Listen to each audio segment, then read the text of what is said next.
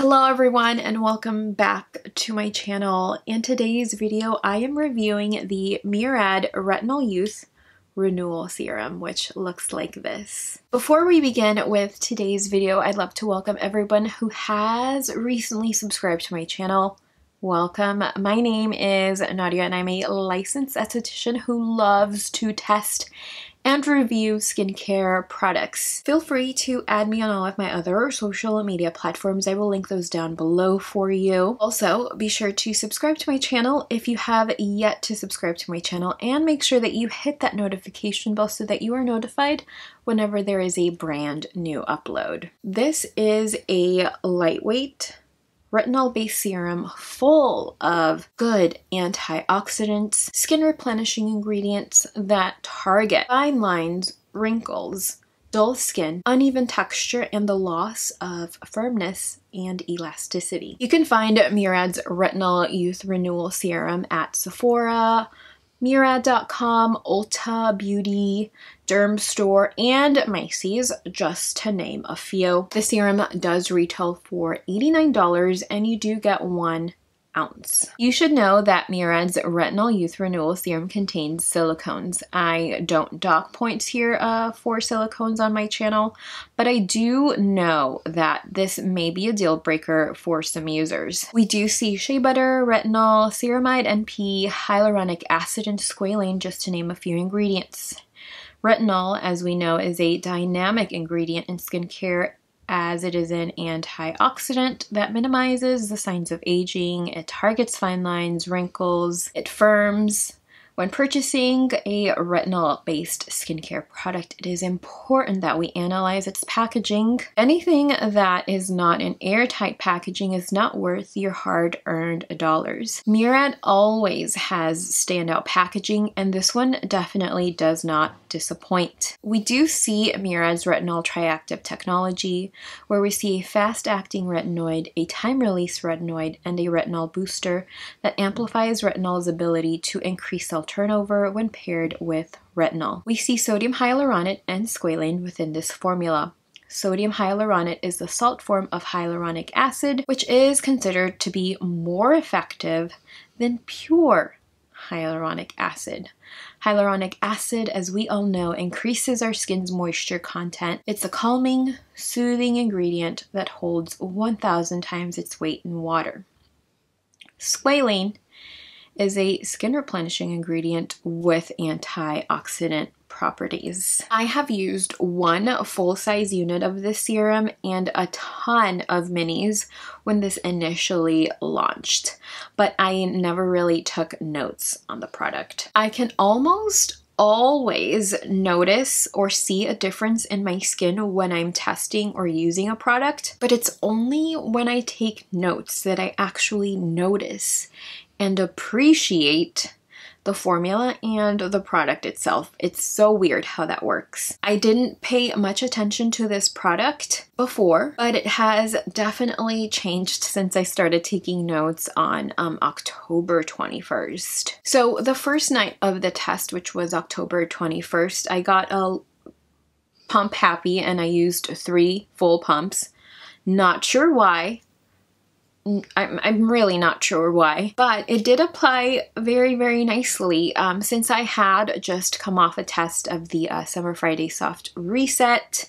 Um, I did feel a slight tingle, which is very rare, uh, at least for me when I'm using a retinol based product. I made sure to follow it with uh, Good Molecules um, niacinamide serum to minimize flakiness, redness, and sensitivity. And the next day I did notice, you know, smaller pores, glowy skin. Um, I also noticed some tightness uh, along the skin throughout the day. Um, but you should know as well that temperatures in LA have uh, gradually been changing. They have been dipping. So, you know, do know that that could also be a reason why my skin was so tight during the test of this product. Uh, when the season changes from like fall to kind of winter, my skin always uh, does this. On November 3rd, I did November 3rd, huh?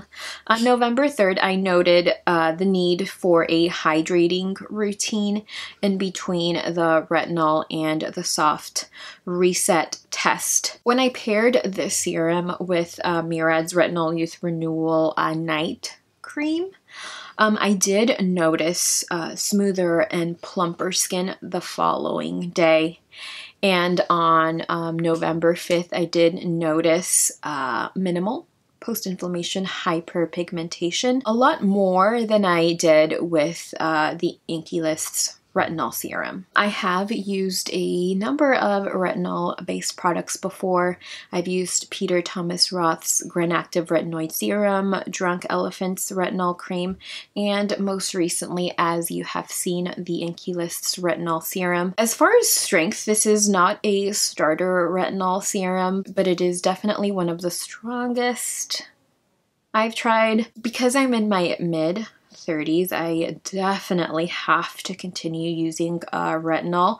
And this is definitely one I do see myself using uh, year round. Overall results from using Murad's Retinol Youth Renewal Serum have been smaller pores, smoother texture, and brighter skin. If your cell turnover has slowed, this will definitely help to speed it up. For a long while, um, I have been dealing with post-inflammation hyperpigmentation, especially here along the lips, the cheekbones with these breakouts and the chin, of course. So this has definitely helped to even that a lot faster than say if I were to uh, continue using uh, a glycolic acid based serum. This definitely plays very well with other products because this is a uh, retinol based product. I did not use this during the day. And because of the seasonal change, I was able to test this with a lot of other products. Um, I definitely used a lot of different moisturizers with um, Murad's Retinol Youth Renewal Serum, such as Drunk Elephant's Protini, Murad's Retinol Youth Renewal uh, Moisturizer, and um, H2O's uh, Overnight newest product, their overnight mask, which is a delight, you should know. On nights where my skin felt uh, really uh, dry and tight, I made sure to add Drunk Elephant's uh, marula oil and the serum still performed very very well. Uh, no pilling no filmy layer over top the skin when I woke up the next day. So whatever you apply or throw on top of the serum I think that it will perform well, or I know based on on everything that I threw on top of it, it will perform very well. I have uh, many favorite ways to use this serum. Definitely with Drunk Elephant's Protini polypeptide cream when my skin definitely just doesn't feel too dry and it just needs a moisturizer. And then with the Murad Retinol Youth Renewal Cream, I definitely use that when I want it to further target fine lines, wrinkles, and dullness. When I pair Retinol Youth Renewal Serum with the uh, Murad Retinol Youth Renewal Cream or Moisturizer, I definitely, definitely make sure to apply at least four to five drops of Drunk Elephant's uh, Virgin Marula Oil to seal everything in, give the skin some added moisture and pack additional antioxidants over top. I also enjoy using it with H2O's overnight mask when I need moisture but I don't want to apply an oil on the skin.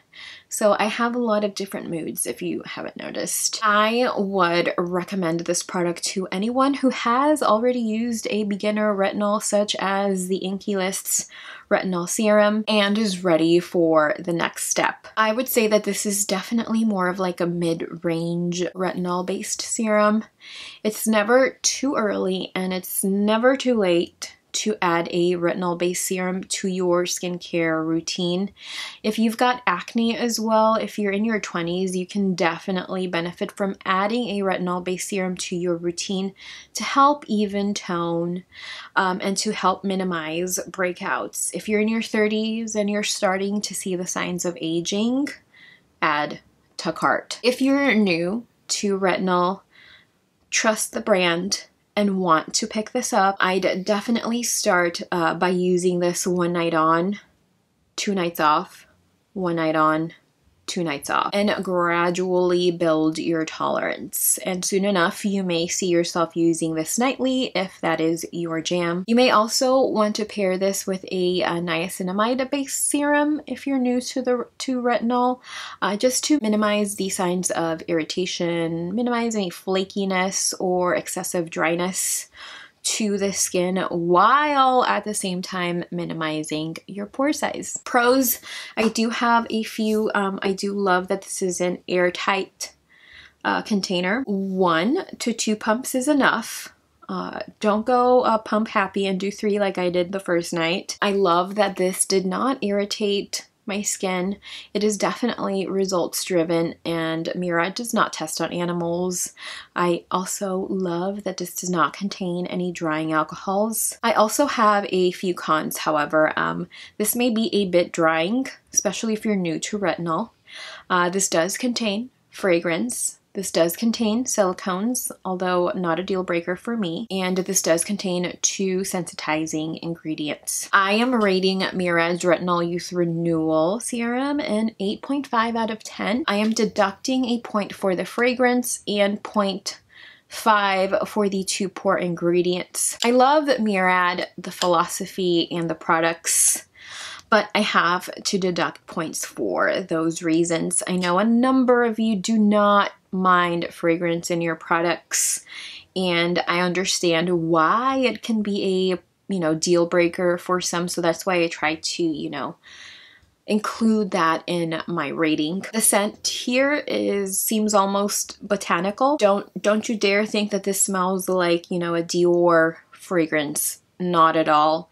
It's a very natural botanical type of, of scent. And that is exactly what the rest of the range smells like. If you smell this, the moisturizer smells just like that. And the eye serum, which I love, smells just like that as well. Um, this serum, I would say, would work well on all skin types. But as with um, any other skincare product, do make sure to listen to your skin when you are um, diving deep into a new skincare product. With any retinol, I'd, I'd always say take it easy and build your tolerance. So that is all I have for today's video. I hope you enjoyed it. Let me know what your favorite retinol based product is in the comments down below. I'd really love to know. Thank you all so much for spending some time with me today and I will see you in my next video. Bye.